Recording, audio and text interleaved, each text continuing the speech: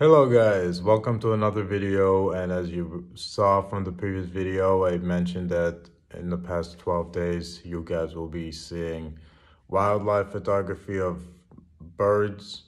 So let's get into it. Hello ladies and gents.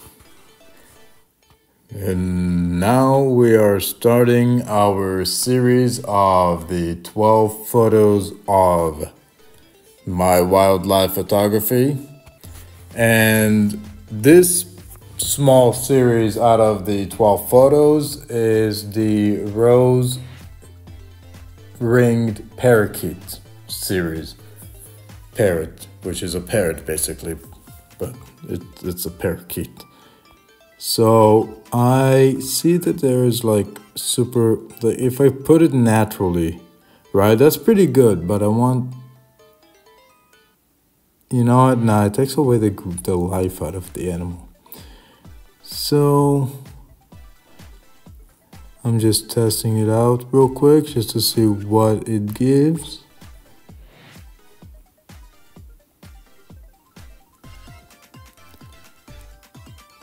Great. I don't want to make the bird too, too, I don't want it to be like this, okay?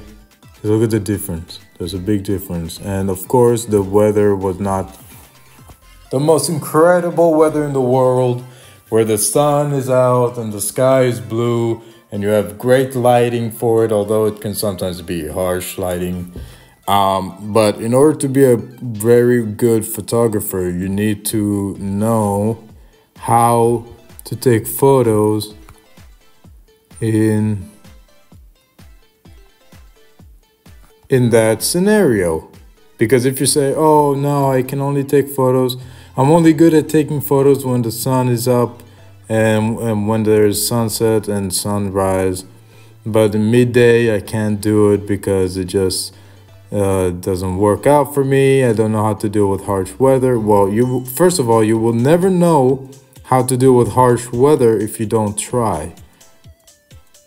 You know, for all I know, this photo could have been completely dark because the camera lens would focus on the bright, bright cloudy sky. Um, so as you can see, sorry, I kind of drifted off topic. Uh, some of these things um, should be kept neutral because some of them really affect it in a bad way. Uh, they added blur, but I have to I have to purchase it, you say? Or maybe not. Early yeah, early access, yeah. So I can try it a little bit and then that's it. And then I have to pay for it, yeah. Nah. Or maybe not.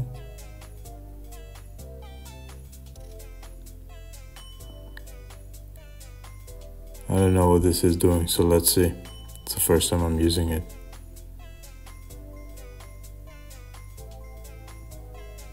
I don't see much difference if you ask me.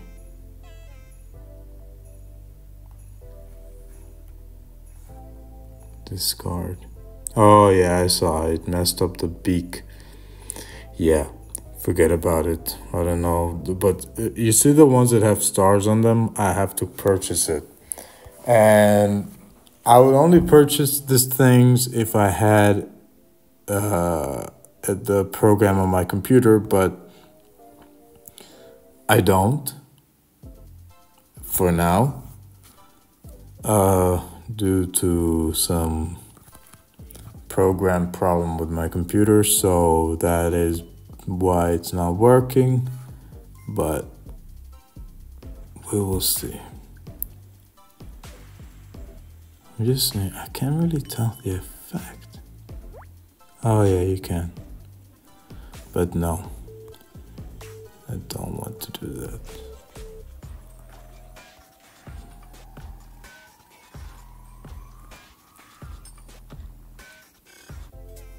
It looks slightly better. Don't want that, don't need that. I forgot what the haze does. Let me see.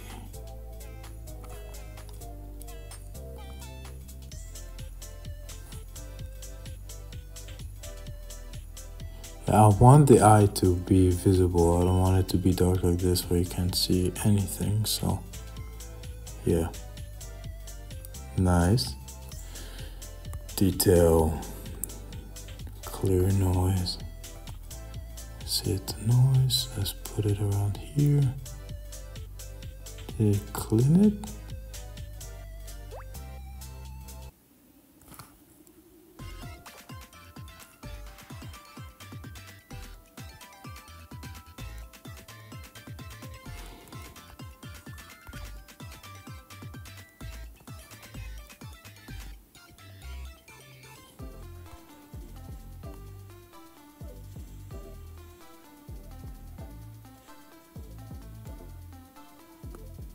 Hmm. Interesting.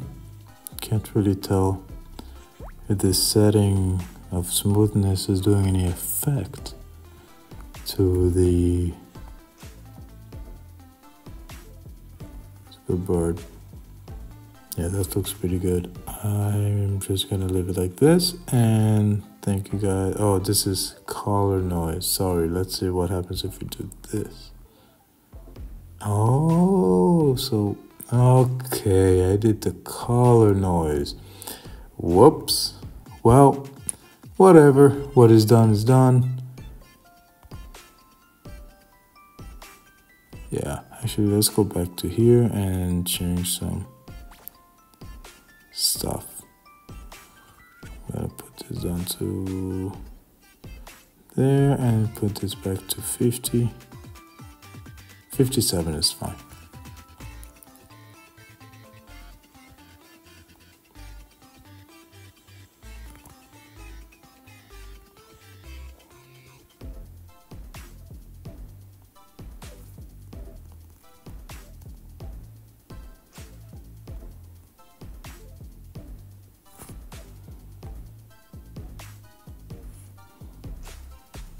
Hmm.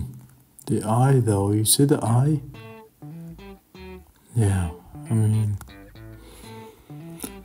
it's alright. Could have been better. Uh, I'm just gonna zoom in, see how everything is looking before this part of the series as the first photo is coming to an end.